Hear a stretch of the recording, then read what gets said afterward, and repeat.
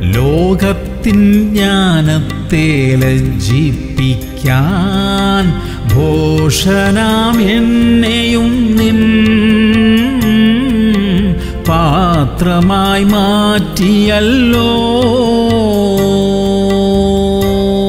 യശയാവ് അറുപത് പതിനാല്. നിന്നെ ക്ലേശിപ്പിച്ചവരുടെ പുത്രന്മാർ നിന്റെ അടുക്കൽ വണങ്ങിക്കൊണ്ടുവരും. നിന്നെ നിന്ദിച്ചവരൊക്കെയും നിന്റെ കാൽ പിടിച്ച് നമസ്കരിക്കും. പ്രിയമുള്ളവരെ നമ്മൾ നേരിടുന്ന നിന്ദകളും പരിഹാസങ്ങളും എല്ലാം ദൈവം കാണുന്നു. മറ്റു പലരുടെയും അത്ര കഴിവോ സാമർഥ്യമോ ഒന്നും നമുക്കില്ലായിരിക്കാം. എന്നാൽ ഈ അവസ്ഥകളെയെല്ലാം ദൈവം മാറ്റും. നിന്നയുടെ കാരണങ്ങളെല്ലാം ദൈവം നീക്കും. നമ്മെ നിന്ദിച്ചവരുടെ മുമ്പിൽ തന്നെ ദൈവം നമ്മെ മാനിക്കും. നമ്മിൽ പ്രവർത്തിക്കുന്ന ദൈവത്തിന്റെ മഹത്വം എന്തെന്ന് അവർ കാണും. പലതരത്തിൽ നമ്മെ ക്ലേശിപ്പിച്ചവരെല്ലാം പശ്ചാത്തപിക്കുന്ന ഒരു നല്ല സമയം ദൈവം വരുത്തും. പ്രാർത്ഥിക്കാം. സ്വർഗീയ പിതാവേ ഞങ്ങൾ അറിഞ്ഞും അറിയാതെയും പരിഹാസപാത്രങ്ങളാകുന്ന അവസ്ഥയ്ക്ക് ഒരു മാറ്റം വരുത്തണമേ. ഞങ്ങളെ നിന്ദിച്ചവരുടെ മുന്നിൽ തന്നെ ഞങ്ങളെ മാനിക്കുമെന്ന് അങ്ങ് വാഗ്ദത്തം ചെയ്തിരിക്കാൻ സ്തോത്രം. അങ്ങനെ തന്നെ സംഭവിക്കട്ടെ കർത്താവേ യേശു ക്രിസ്തുവിന്റെ നാമത്തിൽ തന്നെ. അമേൻ അമേൻ അമേൻ